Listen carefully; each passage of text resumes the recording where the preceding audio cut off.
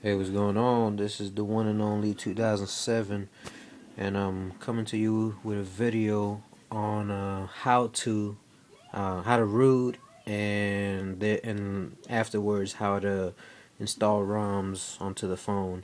Can't really show exactly how to do it, but I'm gonna show the programs that you need, the step by step basically on what to do for your Samsung to root your Samsung Vibrant and afterwards to install the ROM. Now, first thing you're gonna need is your computer, your laptop, and um, all your other accessories, your USB cable, phone itself. And first thing to do on your laptop or computer is um, go online, Google uh, Samsung Vibrant one click uh, Samsung Vibrant one click root. It's gonna give you that program right there, Vibrant one click root. Um, let's see. Uh, I believe, yeah. Um, when once you download the the zipped the zipped folder, you have to uh, extract the files and then there's going to be a program. Let's see if I could find it in there.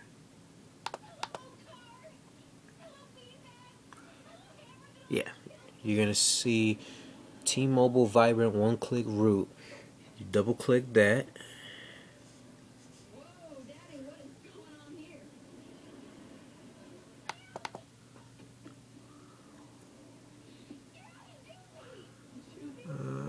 Okay, well, I didn't extract. Okay, well, once you extract it, you double click that, and it's gonna open a. It's gonna open a pro, the program itself. Basically, you're gonna see the Android figure on the right, and then it's gonna it's gonna have two button, two links.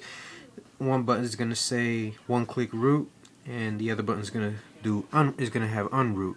Now, when that opens, before you click the root button go to your phone and mount the USB cord.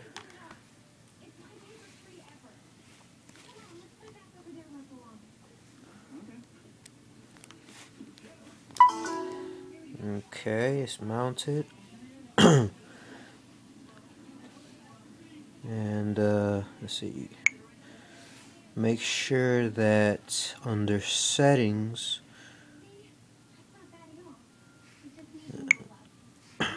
you go to um, where is it?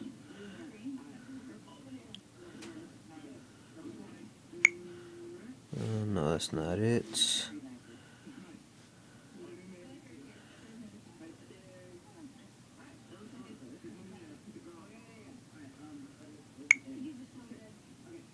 Okay, go to applic uh -huh. click uh, applications, go to USB settings, and right here where it says USB debugging, it's telling me to turn it off because it's on. But if it, you know if yours is off, make sure that it's on. And once it's on, all you gotta do is mount it you connect it. Then you go back to your computer and then on that T-Mobile Vibrant one click root you click root. Once you click root your phone is gonna uh, do it by itself is gonna shut off and turn back on and then you're rooted. And now uh, after you're rooted it's gonna give you an extra program which is that right there, super user. And uh, I believe I believe that's it. Uh, uh, aside from your uh, other apps, make sure that you have ROM Manager installed onto your phone, and then go online, search for ROMs on the XDA developer website. They got a couple good ROMs out there. Um, right now, I'm running Axura 2.1 uh, they said that they were going to have a final Axura, which was one before the before the 2.1. They said that that was going to be the last one, but uh, they came out with 2.1, so I guess they're gonna keep on coming with some ROMs. They also got the Macnut R14. I didn't really give that one a shot because I didn't see any difference. And this one I really like. It's really smooth. Uh, I don't have any problems with it. And um, right now I'm on. Uh, I'm clocked at a thousand CPU. It's pretty good. Doesn't freeze up on me. And yep. Basically, yeah. Uh, like I said, go to Google first and search T-Mobile Vibrant one-click root. Look for the program, install it onto your laptop or computer, and uh, extract the files because it's going to be a zipped folder. Extract the files.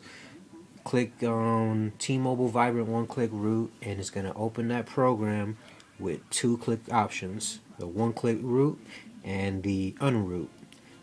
Make sure that your phone is mounted and make sure that the USB debugging is set to on. You'll find it under settings, application, USB settings. Alright, if you have any other questions on uh, how to set it up, don't hesitate to hit me up. It's been the one and only 2007. Comment, rate, subscribe. Later.